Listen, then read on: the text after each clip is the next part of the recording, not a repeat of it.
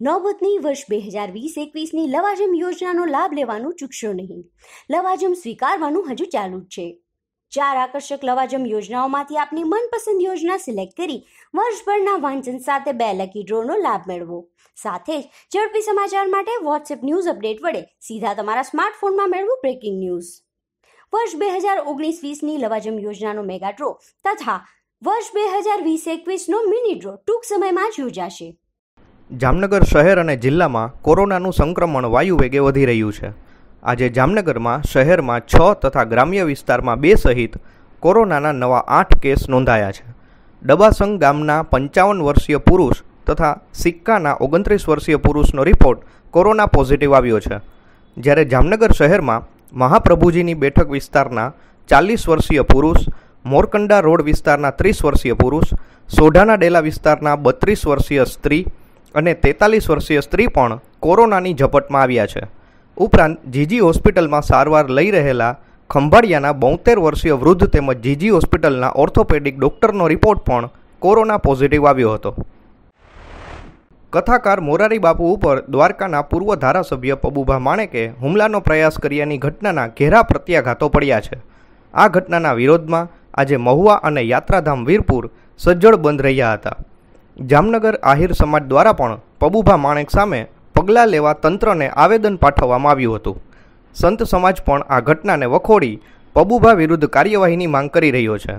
આ દરમિયાન આ વિવાદનો કોઈ ઉકેલ કે સુખદ અંત લાવવા રાજ્યભરના નેતાઓ સક્રિય થયા છે. રાજ્યના શિક્ષણ મંત્રી ભૂપેન્દ્રસિંહ ચુડાસમા આજે મોરારી બાપુને મળવા તલગાજરડા પહોંચ્યા હતા. ભાવનગરના સાંસદ ભારતીબેન શિયાળ તલગાજરડા દોડી ગયા હતા. હવે આ મુદ્દો શું વળાંક લેશે અને કઈ રીતે વિવાદનો અંત આવશે એ વિશે વ્યાપક અટકળો થઈ રહી છે.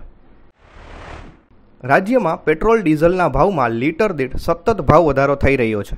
આજે પેટ્રોલમાં ઓગણપચાસ પૈસા તથા ડીઝલમાં સાઠ પૈસાનો વધારો થયો છે.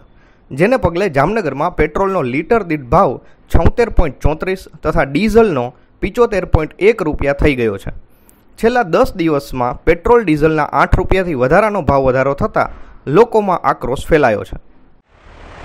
સરહદ પર ચીન સાથે ઘર્ષણ થયા પછી ભારતે ચાઇનીઝ ચીજવસ્તુઓના બહિષ્કારનો માર્ગ અપનાવ્યો છે, જેનાથી ચીનને આર્થિક રીતે ઝટકો આપી શકાશે.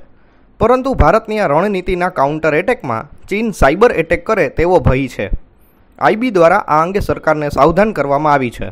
કોવિડ નાઇન્ટીન એટલે કે કોરોના વિશેના ઈમેલ દ્વારા ચીન સાયબર એટેક કરે તેવી સંભાવના છે. માટે આવા ઈમેલથી સાવધાન રહેવા લોકોને અનુરોધ કરવામાં આવ્યો છે. આવતીકાલે એકવીસ જૂને સવારે દસ કલાકથી બપોરે એક પિસ્તાલીસ કલાક સુધી સૂર્યગ્રહણ થવાનું છે. જામનગરના સુમેર સ્પોર્ટ્સ ક્લબમાં રંગતાલી ગ્રુપના ઉપક્રમે ટેલિસ્કોપથી સૂર્યગ્રહણનો નજારો ઓનલાઈન પ્રદર્શિત કરવાની વ્યવસ્થા કરવામાં આવી છે. નોબતની યુટ્યુબ ચેનલ પર પણ ખગોળ પ્રેમીઓ સૂર્યગ્રહણ નિહાળી શકશે. જાણીતા ખગોળવિદ કિરીટભાઈ શાહ તથા કિરીટભાઈ વ્યાસ સૂર્યગ્રહણ અંગે જિજ્ઞાસાઓને માહિતી પણ આપશે.